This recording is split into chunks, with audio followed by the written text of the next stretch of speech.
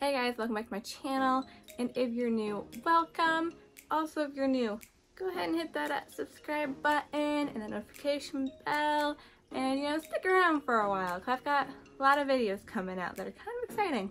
So, a lot of people have asked me for a while now when I'm getting a bearded dragon.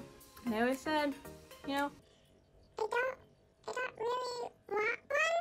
I don't feel the need to own one. It's not really on my list.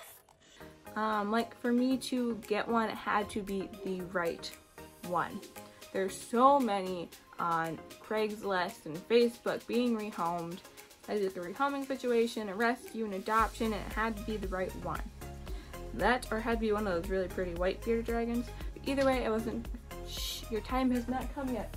But either way, I wasn't gonna buy one from a breeder because there's so many that need homes, and so I was just waiting. You know, I thought I always knew like someday I'd probably have a bearded dragon.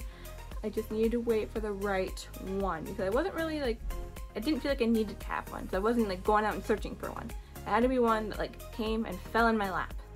And so lo and behold, I do now have a bearded dragon. Alright, so this is her. She's just a little thing. She's pretty cute. So I apparently created quite the reputation for myself back where I went to school. Um, I think it's like the crazy reptile lady. One of the girls in my program that I graduated with worked at one of the PetSmarts there and she contacted me and said they had this little bearded dragon that they were adopting out for free and she wanted to know if I would take her. And yeah, I'm in a place where I'm trying to save up money to move out and whatnot. So I didn't want anything that would come with like major medical bills. So I asked her, you know, do you have pictures and what's wrong with her? So she sent me this picture. So of course, my heart was stolen from five hours away because this little beardie in my school was five hours away from where I live. Five hours away, she stole my heart. And as you can see from the picture, she looks totally healthy. Like nothing, looks like nothing's wrong with her. So I was like, what's wrong with her? She looks totally fine. And the girl just said she needs to be tongue fed. She won't eat on her own, she has to be tongue fed. So I was like, oh my god, that that's it. Said they had her checked by a vet and the vet said she was in good health. So I was like, okay, I'll take her. No, you can't eat my fingers. So I don't exactly know how old she is. Clearly, she is very little. She said that they had her in the store for like three months. Um, you know, someone bought her, took her home.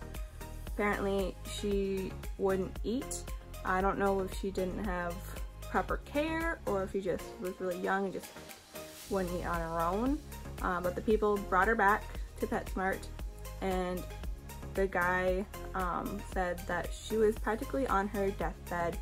They were having to feed her liquid foods for a while and now she's to the point where she, no you can't, you can't eat my hand. Are you hungry? I already fed you. No, you can't eat my hand. I already fed you. What are you doing? Anyway, they're giving her liquid food for a while. Now she's back to the point where she's eating bugs again. But she will not eat them on her own, like out of a dish or anything. They have to be tongue fed to her. So, you know, no skin off my teeth. I already tongue feed a lot of my animals.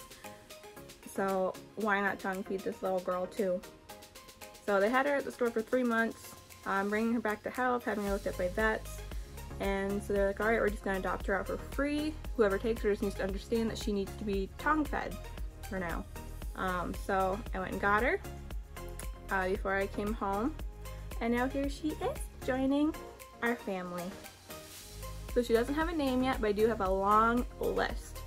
So I'll put the list right here. If you see a name that you think works really well, uh, leave a comment, comment the name. I'll also put the name options in the description and in a comment below so you miss this right here. Uh, you can go and look at those and really think. Um, but definitely comment your name suggestions because she is adorable and I want to give her a name, but there's too many cute names. So for all the people that have been asking me forever, when am I going to get a bearded dragon? I now have a bearded dragon. So thank you guys for watching. Don't forget to comment your favorite name, and we'll see you for the next video.